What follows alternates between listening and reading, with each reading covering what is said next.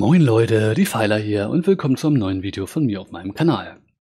Ähm, ja, es gab ein Update von Blizzard. Ähm, geplante PvP-Inhalte für WoW Classic, ist schon drei Tage her. Ähm, ja, wie einige von euch wissen, war meine Grafikkarte leider im Arsch und deswegen konnte ich nicht direkt zeitnah hierauf reagieren. Ähm, ich wollte aber unbedingt noch meine Meinung zu dem Thema sagen und deswegen kommt das Video heute. Ähm, auf Englisch heißt die ganze Geschichte hier Classic PvP Content Plan. Ein bisschen eleganter. Ähm, wer sich die originale englische News äh, anschauen möchte, kann wie gesagt gerne nochmal unten in der ähm, Videobeschreibung vorbeischauen. Da habe ich sie nochmal verlinkt. Aber auch die deutsche könnt ihr euch da auch nochmal anschauen und quasi dann die Sachen im Detail nochmal nachlesen. Ich werde hier auch jetzt nicht jede einzelne Zeile vorlesen, sondern einfach allgemein ein bisschen über die Inhalte sprechen und was es einfach für die PvP-Spieler bedeuten wird im Sommer. Es ist ja schon länger bekannt, dass ähm, der PvE-Content in sechs Phasen kommen wird in WoW Classic. Ähm, es wird anfangen mit Molten Core, Oni und so weiter. Dann kommt irgendwann BWL, dann kommt irgendwann äh, Naxxramas und das wird halt, wie gesagt, in sechs Phasen ablaufen. Blizzard hat sich jetzt dazu entschieden, auch die ähm, PvP-Inhalte quasi in diese sechs Phasen zu integrieren. Also ich gehe einfach mal an der Stelle davon aus, dass mit diesen sechs Phasen auch die gleichen PvE-Phasen gemeint sind.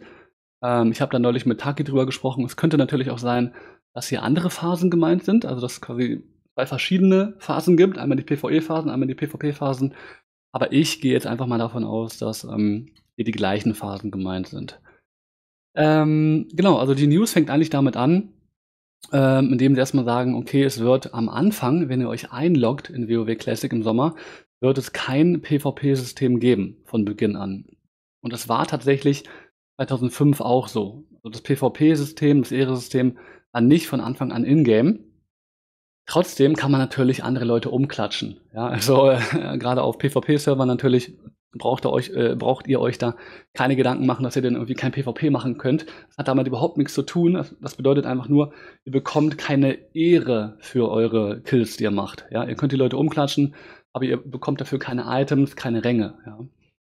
Ähm, und das finde ich erstmal gut, ja, dass das PvP-System nicht von Anfang an drin ist. Dann kann man auch erstmal entspannt hochleveln. Alle können erstmal ähm, sich aufs Leveln konzentrieren, erstmal hochleveln und äh, dann kann man quasi sich äh, so langsam aufs PvP vorbereiten. Ja, und das wird sich dann ändern, äh, schreiben sie ja auch, sobald Phase 2 beginnt und da wird dann das Ehre-System eingeführt. Und wenn wir nochmal schauen, Phase 2 war quasi hier im PvE-Bereich, wo dann Diamol, Azuregos und Kazak kommen. Ähm, da soll dann eben auch quasi hier das PvP-System implementiert werden. Ähm, das bedeutet dann quasi, ihr könnt im Rang aufsteigen. Ja? Das heißt, ihr bekommt dann Ehre für jeden Kill, den ihr macht. Und ihr könnt euch theoretisch gesehen sogar auch schon die PvP-Items kaufen. Denn ähm, die werden dann auch schon in-game sein. Und die werden auch hier auf Patch-Stand 1.12 sein. Da werden wir auch gleich nochmal drüber sprechen. Ähm, aber was bedeutet das im Grunde genommen? Das bedeutet, während Phase 2, und das finde ich sehr interessant, gibt es dann das Ehre-System. Ja, ihr könnt quasi ähm, im Rang aufsteigen. Ähm, ihr könnt euch dann auch die Belohnungen kaufen, wenn ihr die entsprechenden Ränge erreicht. Aber ganz wichtig hier, es wird noch keine Battlegrounds geben in Phase 2. Das heißt, ähm, die komplette Ehre, die ihr machen möchtet, müsst ihr über World PvP machen. Und das ist natürlich äh, ja eine sehr interessante Geschichte, weil ähm, es war tatsächlich auch so auf den äh, originalen Vanilla-Servern äh, 2005 gab es auch, bin ich der Meinung, das Ehre-System, bevor es die Battlegrounds gab. Ja, und dann haben sich die Leute wirklich organisiert, haben sich in den berühmten South Shore versus Terran Mill äh, Schlachtfeldern da bekriegt und da halt ihre Ehre gemacht. Ähm, es wird echt ähm, interessant sein, welche Ränge man nur mit World PvP erreichen kann. Also ich gehe nicht davon aus, dass man in Phase 2 schon Rang 14 erreichen kann. Das halte ich für unrealistisch. Ich glaube nicht, dass man so viel Ehre schon farmen kann. Vor allem, weil man nämlich auch die, ähm, die wirkliche Ehre, wenn man rankt, eigentlich durch die Bonus-Ehre im Battleground macht. Also wenn man dann Warzone gewinnt zum Beispiel, bekommt man entsprechende Bonus-Ehre nochmal und das ist viel, viel, viel, viel mehr äh, Ehre, die man ähm, nur für Kills bekommen würde, ja.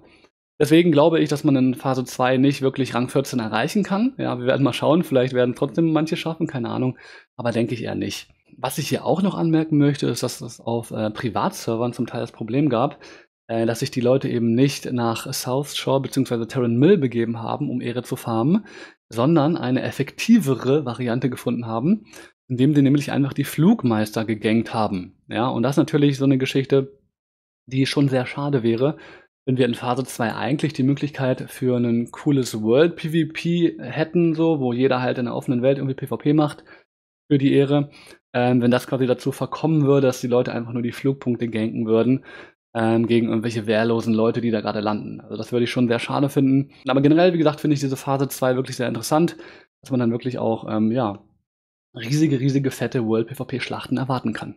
Ja, in der dritten Phase, ähm, hier nochmal zum Vergleich, das wäre dann äh, BWL-Release, Dunkelmond-Jahrmarkt. Ähm, da wird dann quasi auch, ähm, da kommen dann die Battlegrounds, ja, also ähm, Alterak in der Version 1.12, also nicht das ganz alte Alterak, was mega lange gedauert hat, sondern eine leicht äh, modernisierte Version vom Alterak-Teil. Finde ich auch generell gut. Ich weiß, einige fordern da auch das ganz alte Alterak wieder. Ich finde es aber eigentlich nicht so schlimm. Ich bin eigentlich mit beiden Versionen einverstanden. Und Warsong Gulch, die Kriegshymnenschlucht auf Deutsch, kommt auch noch. Ähm, in der Phase können dann die Stammgruppen wirklich loslegen mit ihrem Stammgruppen-PvP. Und ähm, ich gehe auch davon aus, dass dann in der dritten Phase die ersten Leute schon Rang 14 erreichen werden. Ähm, genau. Und jetzt kommen wir zu der Problematik der ganzen Geschichte. Und zwar steht hier nämlich, dass die ähm, PvP-Belohnungen, die man dann kaufen kann, sind auf dem Patch Stand 1.12. Und ähm, es war im originalen Vanilla-Spiel so, dass äh, das PvP Rang 14 Gear, also das epische Gear und das blaue auch, ich weiß übrigens auch nicht, ob Blizzard hier nur die PvP-Sets meint oder auch die Waffen. Da bin ich mir nicht ganz so sicher. Ähm, auf jeden Fall war es im originalen ähm, Vanilla so, dass quasi die ähm, äh, die PvP-Belohnungen einmal geupgradet worden. Also die waren nicht direkt auf Patch Niveau 1.12, die waren quasi mal schlechter, ja. Und äh, wenn die auf dem Niveau von Patch 1.12 sind, dann sind die PvP-Belohnungen, vor allem die Waffen, im Grunde genommen auf einem Niveau vom ja, ähm, Late AQ, Early Nax Ramas, würde ich ungefähr sagen. Ja? Also sehr, sehr stark einfach. Und ähm, Tips Out und auch einige andere Streamer und auch generell die Community hat jetzt so ein bisschen die Befürchtung, dass vielleicht die PvP-Spieler dadurch halt zu früh an zu krasse Waffen rankommen. Äh, muss man einfach mal schauen. Wie gesagt, ähm, es ist auch noch nicht so ganz klar, wie lange die einzelnen Phasen dauern werden. Also es könnte natürlich auch sein, dass es vielleicht auch noch irgendwie sich dadurch verschiebt und dann vielleicht die Leute schon BWL clear haben, wenn die ersten Leute Rang 14 erreichen. Keine Ahnung. Auf jeden Fall wäre es schon ein bisschen komisch, hm, wenn sehr viele Leute schon mit Rang 14 Gear rumrennen könnten, während die Leute noch nicht mal irgendwie BWL geklärt haben.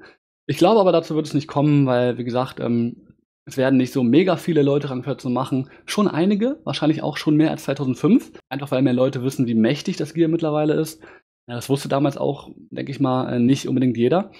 Ich denke aber, Blizzard wird da irgendwie noch eine Lösung finden. Ja, nur dass er Bescheid wisst, so diese Problematik gibt es da einfach gerade. Genau, und in der vierten Phase kommt dann das äh, Arati-Becken, ähm, wird quasi äh, getrennt released. Das kommt nach AV und äh, Warsong. Ja, kann man machen. Ich weiß nicht, von mir aus hätten sie auch gerne alle drei BGs gleichzeitig releasen können. Hätte ich auch nicht schlimm gefunden. Ähm, ja, ist jetzt nicht so mega relevant, finde ich. Ähm, was vielleicht noch interessant ist, Sie haben ja erwähnt, das finde ich auch wieder interessant im Bezug auf, was ich eben gesagt habe mit den ähm, PvP-Belohnungen. Ähm, es gibt auch PvP-Belohnungen, für die man auch einen Ruf in dem entsprechenden BG braucht. Zum Beispiel, es gibt einen Warsong-PvP-Händler, es gibt einen Arati-PvP-Händler und es gibt einen AV-PvP-Händler, der euch Gear gibt, äh, je nachdem, welchen Ruf ihr bei der Fraktion habt von Battleground. Und ähm, sie sagen hier, dass äh, dieses Gear nicht gleich auf dem Patch 1.12 Niveau sein wird, sondern dass das quasi ein bisschen ähm, zeitversetzt release wird. Also da werden nicht direkt alle Items direkt verfügbar sein. Zum Beispiel sagen sie hier, dass die Schmuckstücke, ähm, äh, die man in der Kriegshymnenschlucht, also in Warsong, ähm, kaufen konnte, erst mit Patch 1.9 äh, hinzugefügt wurden. Und äh, der Plan von ihnen ist es auch, diese Items dann wirklich auch erst in Phase 5 einzuführen. Und das war dann quasi hier schon, wo die War Efforts für Ankirai beginnen, ja. Ähm, ist halt irgendwie auch so ein bisschen so eine komische Logik. Auf der einen Seite ähm, bringen sie gewisse Items erst später, ja. Auf der anderen Seite sagen sie aber hier, ja, die Rang 14 Items, die bekommen aber alle direkt von Anfang an. Ähm, und die PvP-Sets halt. Äh, ist ein bisschen komisch. Ich hoffe, dass sie sich hier irgendwie noch auf eine einheitliche Linie festlegen können.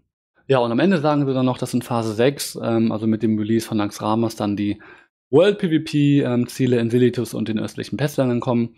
Ähm, ja, ist auch so eine Geschichte. Ich fand die ehrlich gesagt nie so wirklich relevant, weil die, finde ich, nie wirklich einen richtigen Anreiz dazu gegeben haben, World PvP zu machen. Fand ich auch immer so ein bisschen, ja, nicht so die geilste Geschichte. Ähm, auch nicht so relevant. Äh, von mir aus hätten wir das auch schon früher bringen können.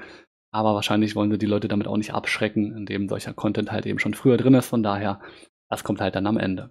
Ja, hier nochmal die Phasen. Wie gesagt, in Phase 1 ähm, wird es quasi noch kein Ehresystem geben. Ihr könnt Leute umhauen, ja, ohne Probleme. Ihr bekommt aber quasi keine Ehre und keine Belohnungen dafür. Ähm, und was ich auch noch nicht erwähnt habe, in Phase 1 gibt es auch noch keine unehrenhaften Siege. Was sind unehrenhafte Siege? Ähm, wenn man bestimmte NPCs in der Welt killt, also die keine Spieler sind, die haben dann immer so eine kleine ähm, äh, in ihrem Tooltip so eine kleine Markierung, da erkennt ihr die dann dran. Ähm, wenn ihr die killt, also wenn die dann in-game sind, die unehrenhaften Siege, dann werdet ihr direkt ähm, in eurem PvP-Rang heruntergestuft. Also es hat eine direkte Auswirkung auf euren PvP-Rang. Deswegen, wenn ihr dann am Ranken seid später, müsst ihr auf jeden Fall darauf achten, dass ihr euch keine unehrenhaften Siege holt. Ja? Also nicht einfach in irgendwelche gigantischen World-PvP-Gruppen joinen, weil wenn ihr nämlich in einem Raid drin seid, wo jemand anderes einen NPC killt, der euch einen, also der ihm einen unehrenhaften Sieg gibt, dann bekommt ihr auch einen unehrenhaften Sieg. Und daher müsst ihr da ein bisschen aufpassen. Ja? Und die werden am Anfang noch nicht in-game sein, aber sobald das Ehresystem dann in Phase 2 kommt, werden die eben auch in-game sein. Ähm, das heißt aber nicht, dass ihr als PvPler gar keinen World PvP machen könnt. Ihr müsst einfach nur mehr aufpassen. Ja? Ihr müsst dann wirklich mit Leuten unterwegs sein, die von mir aus auch ranken und die alle das gleiche Ziel haben und die alle dann auch sehr darauf achten, dass man solche NPCs einfach nicht killt. Wenn man da so ein bisschen drauf achtet, dann bekommt man das eigentlich relativ gut hin. Ähm, ja, wie gesagt, aber ein 40-Mann-Städte-Raid wird dann vielleicht schon problematischer, vor allem wenn man mit irgendeiner Random-Gruppe mitgehen möchte. Das sollte man dann vielleicht machen, wenn man mit dem Ranking schon abgeschlossen hat. Ja, und wie gesagt, die Belohnungen könnt ihr dann halt in Phase 2 theoretisch gesehen schon kaufen. Ich gehe aber nicht davon aus, dass hier schon ähm, die richtig hohen Ränge erreicht werden. Hier wird dann vielleicht mal einer Rang 10, Rang 9 und so erreichen, aber Rang 14 wird hier, glaube ich, noch nicht möglich sein. In Phase 3 kommt dann das Alteraktal ähm, und die Warsong Gulch, also die Kriegshymnenschlucht. Ähm, und da können dann quasi die Stammgruppen anfangen, PvP zu machen, richtig, und ähm, dann auch, denke ich mal, Rang 14 erreichen in der Phase. Ähm, in Phase 4 kommt dann das Arati-Becken. Das heißt, in Phase 3 könnt ihr quasi nur 10 Mann-Stammgruppen hier machen in der Warzone Gulch. Und ab Phase 4 könnt ihr dann auch mit 15 Leuten losmarschieren. Und wie gesagt, in äh, Phase 6 gibt es dann hier noch diese World PvP. Ja, was sagen uns die News also? Ähm, ja, die PvP-Spieler können sich eigentlich freuen, denn äh, es kommt alles genau so, wie es auch äh, 2005, 2006 kam. Ähm, es wird nach und nach eingeführt ähm, und wie gesagt, äh, kann wirklich sogar sein, dass quasi ihr direkt ab der dritten Phase dann euch die ähm, ja, sehr, sehr mächtigen PvP-Items schon kaufen könnt, wenn ihr die entsprechenden Ränge erreicht. Ähm, und ich finde es jetzt auch nicht so mega schlimm. Ich würde mir aber schon wünschen, dass man da vielleicht noch mal eine Abstufung macht und vielleicht auch die äh, Rang 14 Belohnungen, gerade die epischen Waffen, die wirklich schon sehr, sehr stark sind, gerade für Krieger, Paladine und Schurken, dass man die vielleicht noch mal ähm, in der der vorherigen Version einfach anbietet und dann einmal äh, upgradet, wenn wir Patch 1.9 oder so erreichen. Ja, das würde ich sinnvoller finden, denn selbst die leicht genervten äh, Rang 14 Belohnungen und generell die PvP-Belohnungen sind immer noch sehr stark. Und äh, ja, ich würde mir einfach freuen, wenn man da vielleicht so eine einheitlichere Lösung noch finden würde. Wenn nicht, dann geht die Welt für mich aber auch nicht unter. Ja, das war mein Video auf die geplanten PvP-Inhalte für WoW Classic. Wie gesagt, ähm, für mich sind es gute Neuigkeiten. Ähm, schreibt mir gerne mal unter das Video, was eure Meinung zu diesen äh, PvP-News ist. Ähm, ob ihr auch denkt, okay, die PvP-Items sollten vielleicht erstmal in einer leicht abgeschwächten Variante kommen. Oder sagt ihr, nee, äh, die können ruhig äh, der stärkeren Form kommen, das juckt mich nicht. Ähm, so viele Leute werden eh nicht Rang 14 erreichen. Ähm, schreibt mir gerne mal eure Meinung unten drunter. Das würde mich wirklich sehr, sehr freuen. Ähm, genau, kleine Ankündigung noch. Ähm, morgen kommt ein Video äh, hier auf dem Kanal online, was eine Stunde geht ungefähr, wo ich mit dem Taki, der äh, auch in der Ali-Gilde im Sommer bei mir am Start sein wird, der da auch eine führende Position ähm, übernehmen wird, ein bisschen über Hardcore-PvE in WoW gesprochen. Also das wäre echt sehr interessant, weil er hat einfach sehr viel PvE, äh, Hardcore-PvE-Erfahrung. Also er hat da wirklich in krassen Gilden mitgeradet, äh, World First Kills gemacht und solche Geschichten, hatte da Verträge mit den Gilden und so weiter. Also wirklich eine, eine sehr spannende Geschichte ist quasi eine Podcast-Folge, die kommt morgen online. Äh, könnt ihr euch hier auf YouTube anschauen oder auch auf dem ähm, Podcast von mir anhören auf Spotify. Das wird dann aber auch alles unter dem Video morgen verlinkt sein. Ja, nur schon mal hier die Ankündigung. Morgen kommt direkt das nächste Video. Äh, genau, wenn ihr sonst noch nicht genug von WoW Classic habt, dann äh, könnt ihr auch gerne mal auf meinem Twitch-Kanal vorbeischauen. Ich streame momentan dreimal die Woche. Am Sonntag, am Dienstag und am Donnerstag ab 19 Uhr immer. In dem Sinne würde ich sagen, danke für die Aufmerksamkeit und bis zum nächsten Mal. Ciao, ciao.